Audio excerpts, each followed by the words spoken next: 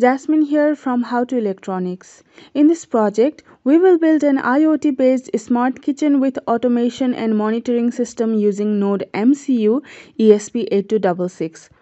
The kitchen is one of the important places in a house. The safety factor is the main aspect that must be taken into account during the activity in the kitchen. The existence of gas leakage, uncontrolled fire, excessive temperatures, and a moist environment must be quickly identified and addressed. Apart from this, it's necessary to monitor and control kitchen appliances like lights, fridge, oven, etc. remotely. The main motto of this project is to make a prototype of an IoT based smart kitchen using the Internet of Things. The system uses multiple sensors, relays, and Node MCU ESP8266 board. We can monitor all the sensor data on Blynk applications. We can also send the command from Blynk app to control kitchen appliances. Basically, the IoT Smart Kitchen does the following task. Monitor the kitchen temperature and humidity using DHT11 sensor on Blynk app. Monitor the air quality index gas using MQ135 gas sensor on Blynk app. Displays the kitchen temperature, humidity and gas level on 0.96 inch OLED display. The exhaust fan turns on and the alarm activates once gas level exceeds detects the presence or absence of a person in the kitchen using a PIR sensor, sends alarm status, exhaust fan status, and person in room status to Blynk app. User can turn on off fridge, oven, room light remotely from Blynk app. So let's see how we can build this entire system and without getting any delayed, let's get started.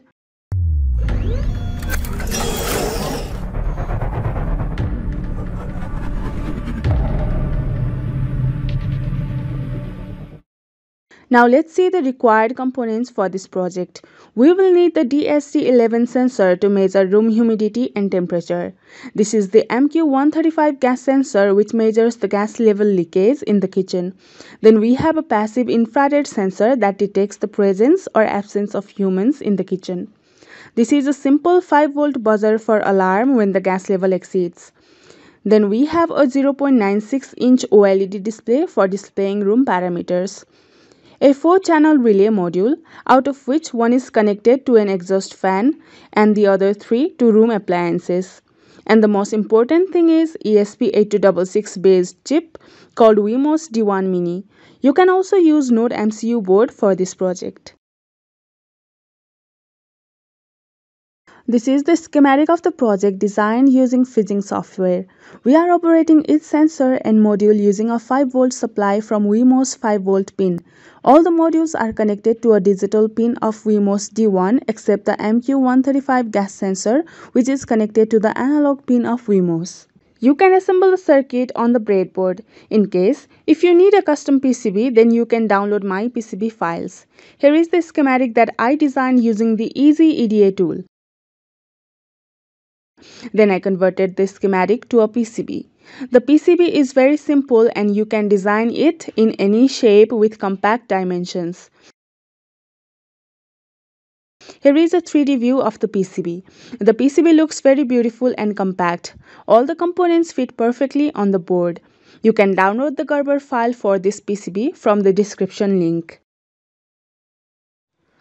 So it's time to order the PCB. You can visit Next PCB for PCB services. Next PCB is also my favorite PCB manufacturer as they provide trial PCB, two-layer PCB and four-layer PCB with free PCB assembly shipping services up to a fast lead time of 24 hours. To place an instant quote, click here. Then upload the Gerber file. Then select the PCB material, layers, board type and also the PCB quantity. Select the PCB thickness, color, surface finish and other parameters. Then you can select your country for shipment and then place an order. After verification, payment and manufacturing, you can get your PCB in the next couple of days. I preferred assembling the circuit on a breadboard for testing purpose. So this is my circuit assembly. I used jumper wires for a connection. This is a PIR sensor, then a buzzer MQ135 gas sensor, DHT11 sensor, OLED display and a 4-channel relay. The connection is exactly the same as per the circuit diagram. Now we need to set up the Blynk application so that we can receive the data from ESP8266. So download and install the Blynk application from Google Play Store. Once the installation is completed, open the app and sign up using your email ID and password.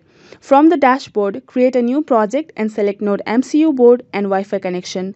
Then drag and drop or add 3 buttons, 2 style buttons and 3 cars from the widget list. Assign the three variables and name them like temperature, humidity and air quality index value as per code. Similarly, assign the three variables from the button and two variables for the style button. You will get the authentication code in the mail. Copy this authentication code. This will be used in your code. So here is our code. In this code part, we need so many libraries like DHT11 and MQ135 sensor library. We will need Blynk library as well and a couple of OLED libraries.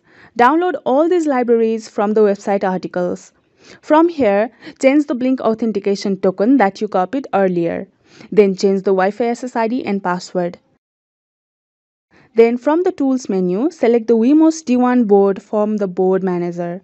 Also select the COM port. Finally, upload the code. After uploading the code, you can check the serial monitor. The serial monitor will display temperature, humidity and air quality index value. It will also show the alarm status as well as exhaust fan status and also human presence. On the other hand, the OLED display will display the temperature, humidity and gas level of the kitchen.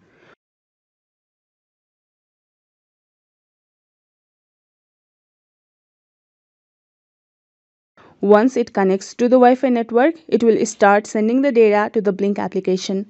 The Blynk application will receive the temperature, humidity and air quality index data and display them on the gauze.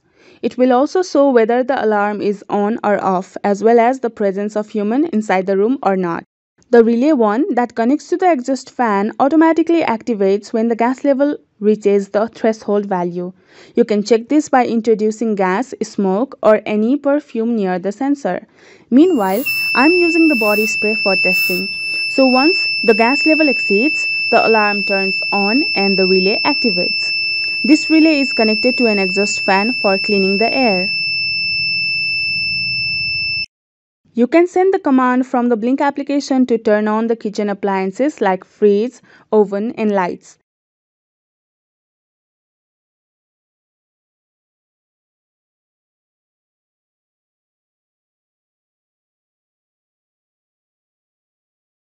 Connect any of the home appliances here using the following schematic. It's very simple and useful.